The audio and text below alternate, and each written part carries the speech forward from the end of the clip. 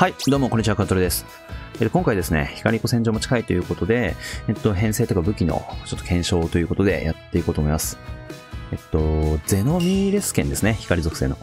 このセイクリッドフレームミーレスっていう風な武器が、まあ最近実装されて、何やら、あの、倍率が高くて強いらしいみたいな話が結構出てて知ってる人もいると思うんですが、まあこれが、果たして古戦場目線で、この武器を本当に使うことになるのかっていうところをちょっと今回検証していこうと思います。このゼノミールス武器って本当に手に入れにくかったんですけど、まあ、ちょっと頑張れば、周回すれば手に入れられるような武器になったので、まあ、本当にね、これが強いのかっていう風なところ気になってる人が多いと思うんで、まあ実際にじゃあ試していきますか。はい、それでは行ってみましょう。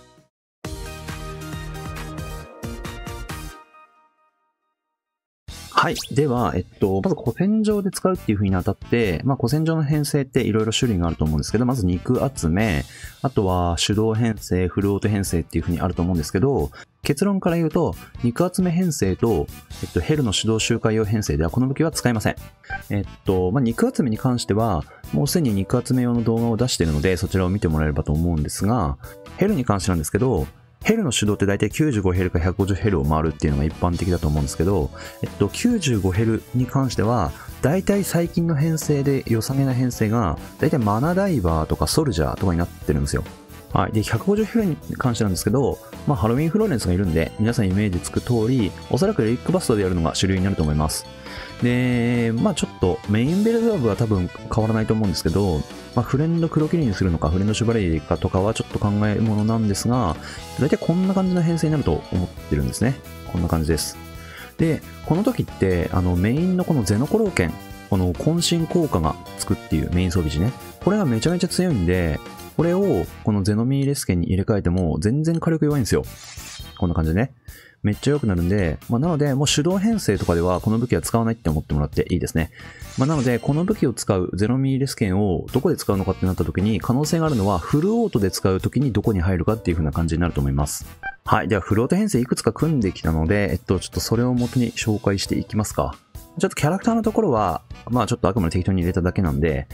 えっと、まず95ヘル。95ヘルのフルオートですね。95ヘルのフルオートって、まあおそらくこんな感じになると思うんですよ。まあ、ジョブが本当にバイキングなのかっていうのは置いといて、本当はバイキングって剣斧がいいんですけど、今回の武器は、あの、メインかコンパニオンウェポンに装備した時しか効果が発動しないんで、まあ、わかりやすいように剣剣でやってこれで比較しようっていう風な話ですね。で、両面編成で、今、えっと、HP が4万8000の予測ダメージが70万あります。両面で技巧確定になってる編成ですね。えっと、95ヘルの編成だと、ちょっとメインベルゼバブで、えっと、最初にベルゼバブを召喚してからバーストするみたいな流れあるかもしれないんですけど、ちょっと話がややこしくなるんで、一旦これで。で、ハルモニアも、まあ、マグナでも2本入れるのが結構理想編成だったりするんで、ここちょっとずらすと話がややこしくなっちゃうんで、まあ、一旦これでやっていきますと。では、これですね。ここ、コンパニオンエポンのこの手馬剣をゼノミーレス剣に変えてみましょう。一応 EX スキルで攻撃とかはついてないですね。はい。で、これをゼノミーレス剣に変えるとどうなるかというと、こんな感じで、えーっとですね、火力は確かに上がってます。ただ、200しか変わってなくて、で、手馬剣を変えたんで、HP がちょっとだけ落ちてるんですよね。はい。という感じで、えっと、こういった編成で手馬剣と入れ替える場合は、えっと、まあ、1本手馬剣と交換するだけでは、まあ、大して変わらないと。えっと、攻撃系の EX スキルがない手馬剣と入れ替えてこれなんで、まあ、おそらくあれですね、攻撃がちょっとでもついてたら、もう手馬剣の方が強いんで、えっと、まあ、これも結論になるんですけど、えっと、メインもしくはコンパニオンエーポンに1本だけ刺すっていう状況であれば、この武器は使わないですね。この武器って、2本以上入れるときにめちゃめちゃ火力が伸びるんですよ。で、なんでかっていうと、この武器ってこれ、ミーレスシリーズが多いほど攻撃力上昇ってなってるんですけど、1本入れるごとに23%だったかな？そうですね。1本入れるごとに23%の法人で、これカゴが乗るんで、2本入れれば、えっと、46%になるんですよ。まあ、なので、1本だけで入れるよりも、2本以上入れるっていう風にした方が火力が伸びやすい武器なんですね。まあ、なので、じゃあ次、このゼノコローケン、このメイン武器を入れ替えてみますか。これゼノコローケンメインにしてると渾身つくんで、めちゃめちゃ強いんですよ、この武器って。ただ、二刀流にした時どうなるかっていうと、ほら、めちゃめちゃ上がるんですよね。そう、こんな感じ。で、あのメインの渾身効果がなくなってでも、こっちのミーレス剣の二刀流にした方が火力が10万ぐらい伸びたんで、これはめちゃめちゃ強いと思いますね。で、今見てもらってわかると思うんですけど、他のミーレス武器と一緒に入れる、もしくはメインでこういう風にバイキングで二刀流するっていう時に一番進化を発揮する武器なんで、まあ、ミーレス武器2本以上編成が前提になってくる武器だと思ってください。はい。では次に、えっと、これ今技巧確定の編成になってるんですけど、HP がだいたい5万ぐらいなんですね。まあ、これで150ヘルフローと、まあ、いけなくはないと思うんですけど、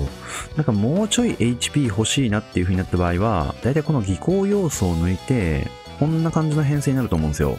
えっと、通常よりも手馬剣を多めにして、HP を上げたような編成ですね。で、この時の HP がだいたい7万ぐらいあって、予測ダメージが51万9000ですね。はい。で、こうなった時に、じゃあ、あの、ミーレス剣入れた場合どうなるかっていうのをちょっと見ていきましょうか。はい。まずコンパニオンウェポンに装備すると、まあ、さっきと同じですね。えっと、ちょっとだけ上がるけど、えっと、HP がちょっと下がるみたいな状態になってますね。はい。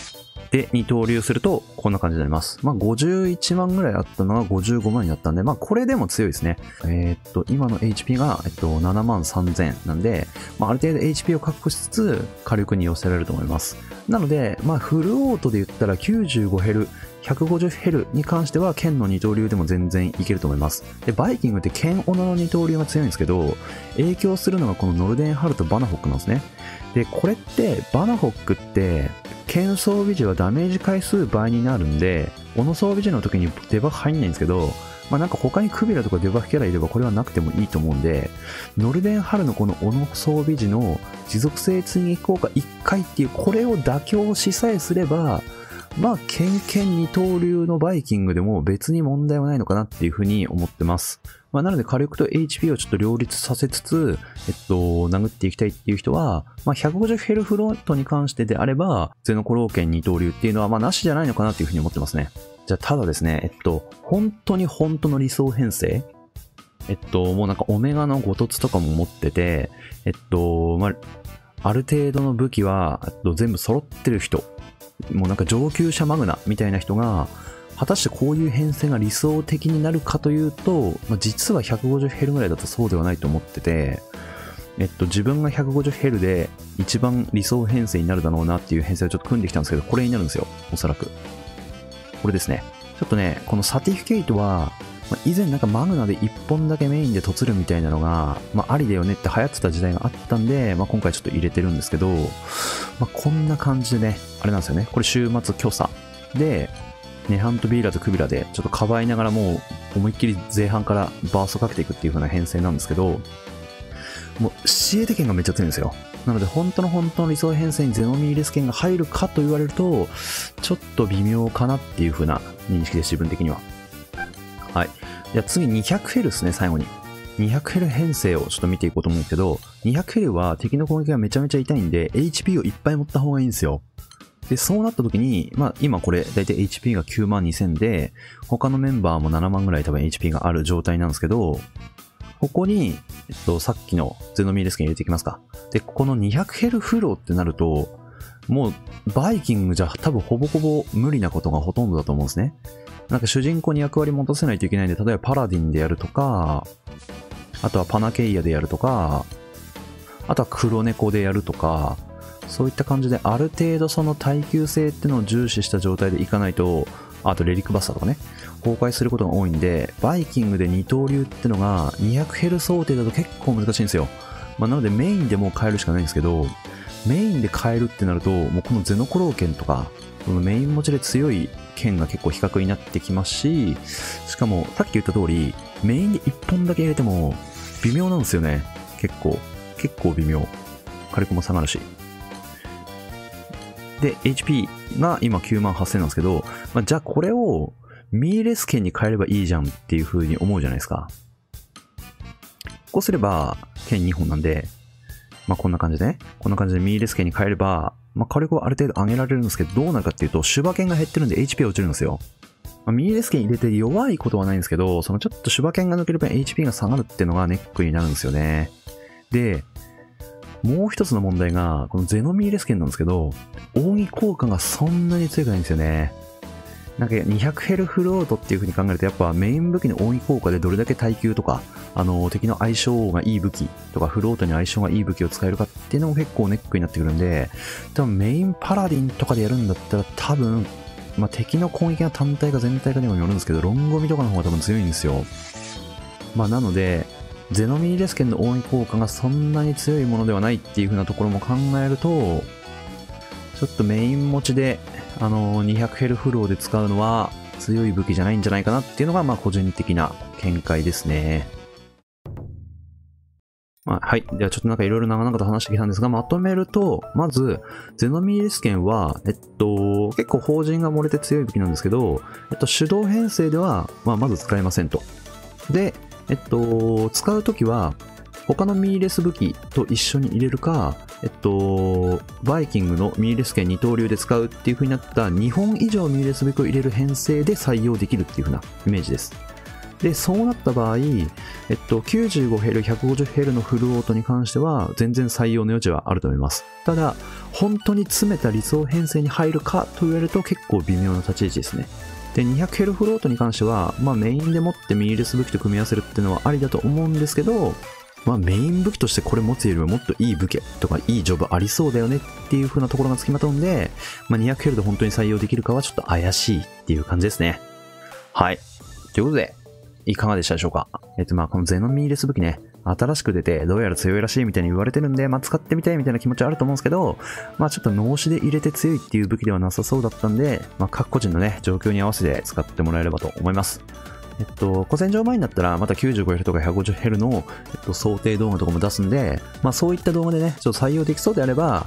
ちょっと、ジョブとか編成とか見つつ、その、採用していこうと思うんで、ぜひそちらもよろしくお願いします。はい。では本日の動画は以上になります。よかったらチャンネル登録と高評価の方もよろしくお願いします。次の動画でお会いしましょう。